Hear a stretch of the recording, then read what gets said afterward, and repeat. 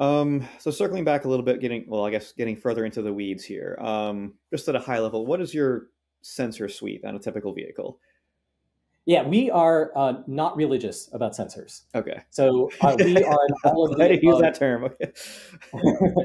well, you know, of course, some people are uh, have have uh, let's say very forward-looking views. You know, it should be all cameras or lidars are evil or whatever the case. Exactly where I was going with that. Okay.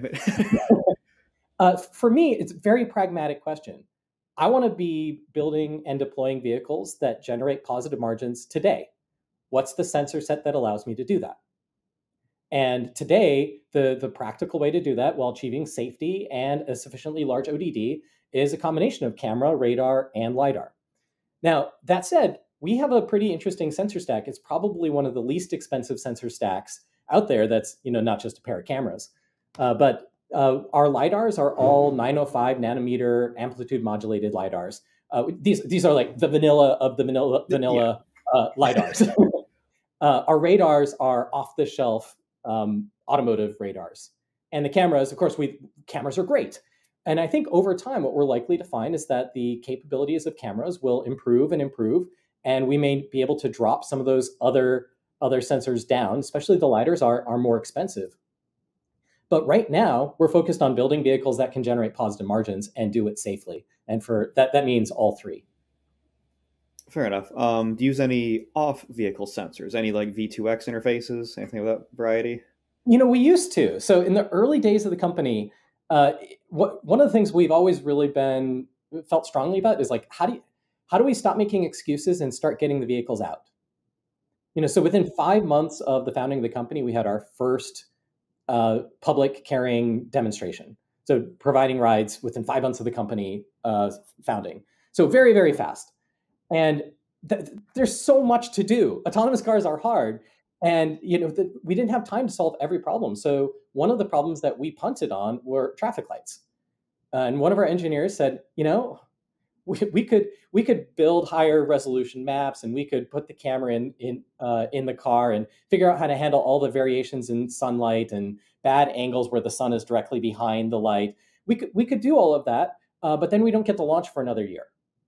Or we could bolt a camera on a pole on the other side of the on the intersection and just have it there at the traffic light, and then it's done. So we did that. Yeah, that makes sense. and, and it was actually great because it solved exactly the problem that we got. It got our vehicles out onto the road. It started that virtuous cycle of getting feedback from the customer, figuring out what we're doing well. And as time has gone on, we no longer need infrastructure. So, you know, one one thing that may not be surprising is cities don't have a lot of money. And if you go to a city saying, you know, this is great, we're going to solve all of your transportation problems, but we gotta you got to spend millions of dollars to upgrade all of your infrastructure first. No, no, it's not going to happen. So you need to be able to operate infrastructure free. It also is is nice to know that our vehicles are uh, self-sufficient in terms of all of the safety requirements that they have. Uh, that that you know a, a down cellular link is not going to impact our safety in any way. So we've been able to migrate away from that. But yes, in the early days, we did use infrastructure. Today, no more. Yeah, I've seen some other fleets. The US seems to be very resistant to V2X, whereas Germany, Japan, and China are pretty much like all in on V2X. Yeah, you know, and I, I have, I don't know if this counts as a hot take, but uh, I am not a big fan of V2X for safety applications. You think about all of the the surface area, you know, for attacking a vehicle, you hmm know, like a Sybil attack or just spoofing or just denial of service. Oh yeah, If, if you build a vehicle, and oftentimes what you hear is like V2X is going to make safety so much better, but only if it's authenticated, secure, and reliable. And I don't know how to make it any of those things when it's just, you know, radio waves that can be jammed or spoofed or, or whatever else. You know, if, if this was a, a closed community of vehicles that were that shared cryptographic keys, like suppose May vehicles only communi- communicated with May infrastructure, Mhm. there you could at least say, hey, it's secure. I still can't necessarily solve the denial of service because someone could still just Yeah. jam jam radio, but I could solve that.